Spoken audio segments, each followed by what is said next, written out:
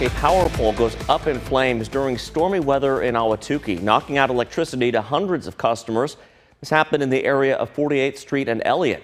Fox 10's Stephanie Bennett is live now with the latest tonight. Stephanie.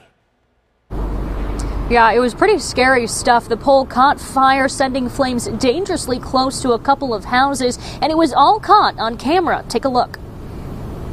Literally, I've never seen uh, anything like it. It wasn't just a little fire, it, it was raging all the way to the top. So really, really crazy. It's an electrifying night for one Ahwatukee neighborhood after a utility pole went up in flames during a rainstorm. So.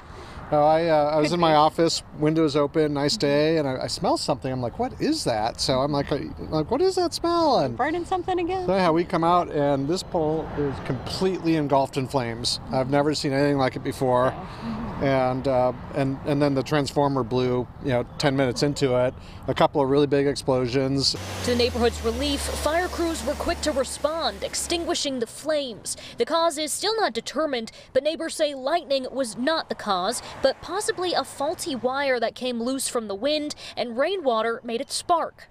We just go in and make sure that the power is still not connected and running through those lines.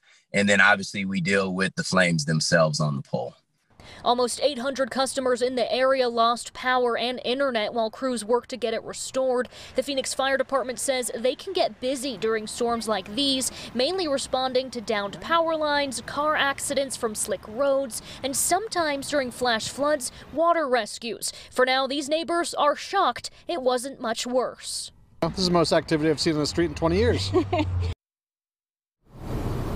Yeah, and the wind is now starting to pick back up again, and it is a good idea if you have any furniture or anything outside of your homes, even trash cans, good idea to bring those in during storms so they don't blow away. Also a good idea to keep your eye, an extra eye on those roads when it is rainy like this. Puddles can accumulate in those lower lying areas and it can be slick out there. Reporting live in Phoenix, Stephanie Bennett, Fox 10 News.